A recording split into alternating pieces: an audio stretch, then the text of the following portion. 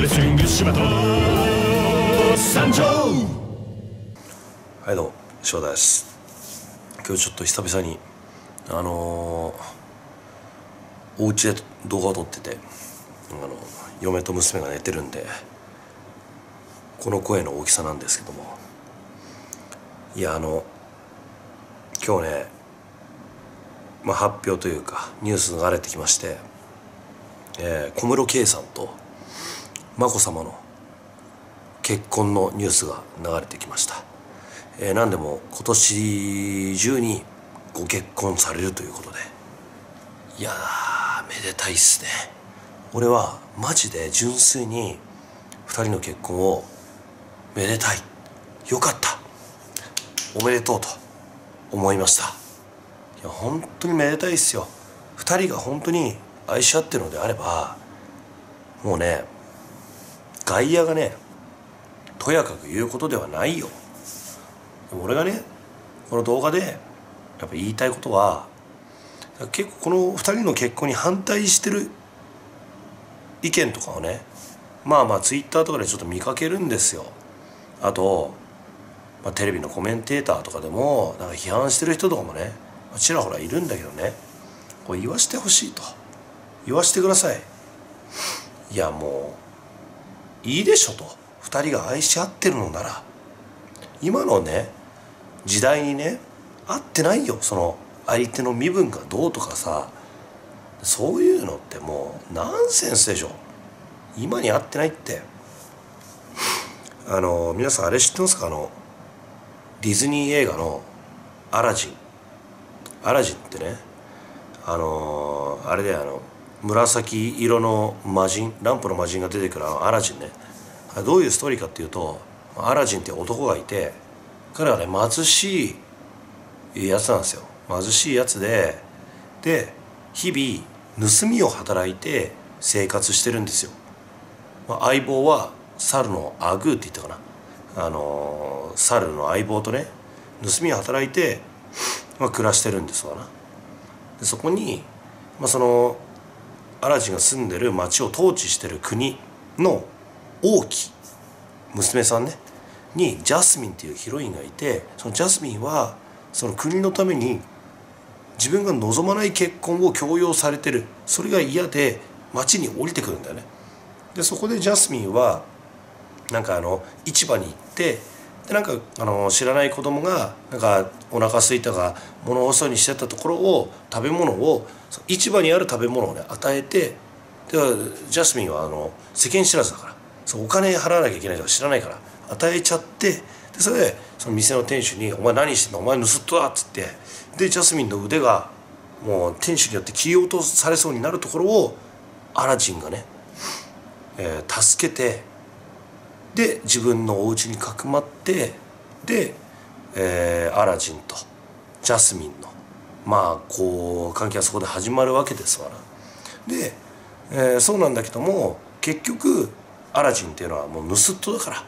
盗人であるアラジンと王妃が結ばれてはいけないと、えー、右大臣であるジャファーっていうねやつがこの2人のね恋路を邪魔するわけですよ。うん、でまあ後に、えー、アラジンはその3つの願いが叶う、えー、なんか魔法のランプを手に入れてでまあ結果いろいろあってジャスミンと結ばれるって話なんだけどもさね話を戻しますとねえー、アラジンアラジン盗人ですよ盗人。盗人と王妃が結ばれる恋のストーリーですよ。これをねまあ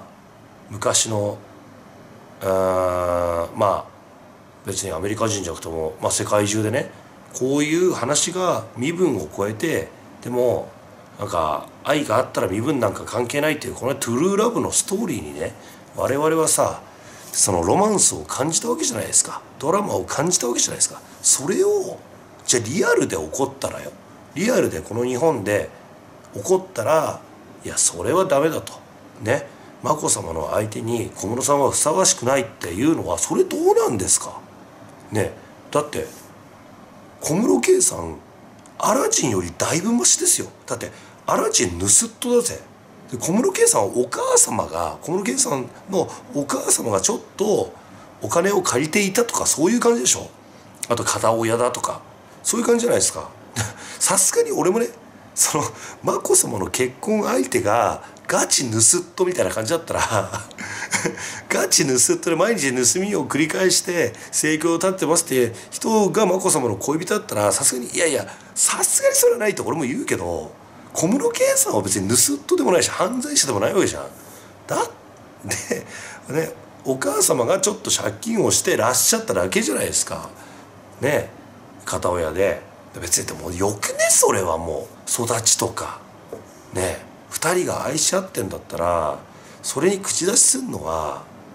無粋よこの時代に。って思うでしょ？でも僕は思うんですよ。でまあ結果結婚して、まあ、日本をなんか出ていくらしいですね。なんかニューヨークかどっかに住むっていう話だけどもでも俺それがいいと思う本当に。い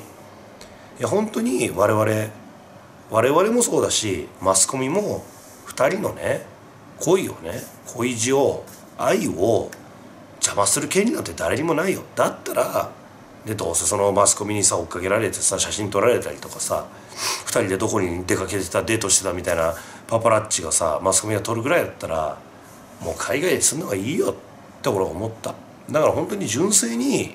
俺は小室圭さんと眞子さまをあのー応援したいね。いや本当よかったよ。これで本当に世間のね世論とさマスコミとか邪魔してさ、えー、眞子さんもそのと小室さんの仲がさこう、えー、立たれてさで別れたってなったらえじゃあなんなんみたいな。なんなんてねなるやん。って感じで僕はですねなんか、まあ、今の時代だからこそもう身分なんかも関係ないでしょと。ね。好きな人と愛する人と結婚するのが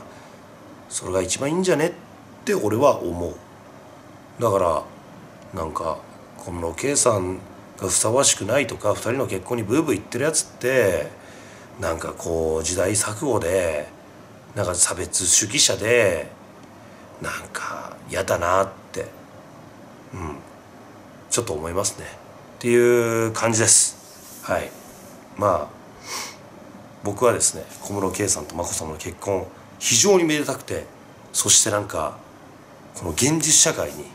なんかこうなかなかないロマンスというかですね、えードラマをちょっと感じさせてくれるような素敵なご結婚だと素敵な出会いだとなんかそうちょっとガチでそう思わせて、えー思ってしまいました。はい。という感じで、まあ、柴田は小室圭さんの結婚大賛成ですっていうはいそんな話でした。は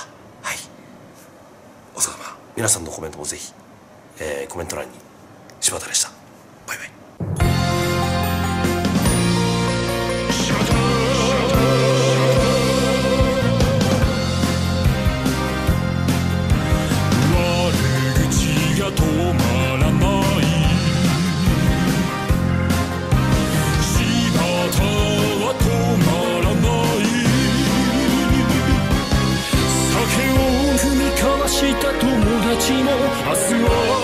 ずにいられない。